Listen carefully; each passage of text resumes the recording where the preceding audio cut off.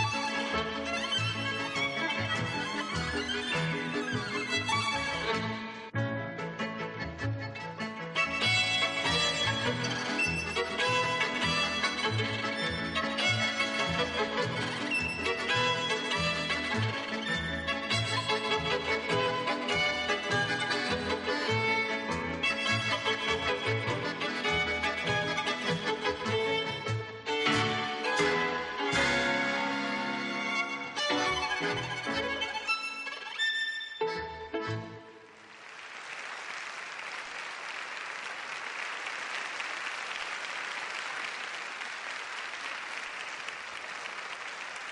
scena sălii radio, viorile românești, Grigoraș Dinicu.